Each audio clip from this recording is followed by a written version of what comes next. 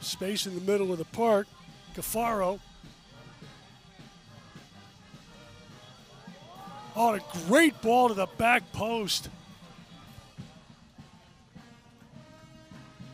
Vichian got ahead to it, ran out of angle. Jean-Claude Bile making his season debut. Oh, the corner blocked off the line. Tremendous play.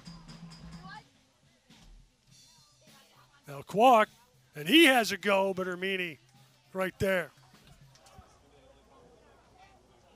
Huerman. Huerman on that one, two! And the heels are out in front. Quincy Huerman with his second goal of the season. Oh, the back heel ball by Zinhart trying to send Williams. He finds Cafaro. And the heels back in front. A blast from Huerman, who has a brace. It's 2 1 North Carolina.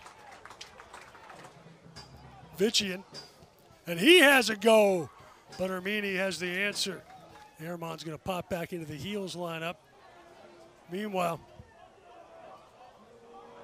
takeaway in the middle of the park by Jack. And the heels get breathing room. David Bersato off the turnover in the middle of the park makes it 3 1 North Carolina. Huerman. Edwards, brilliant header from Ernest Bawa puts this one to bed.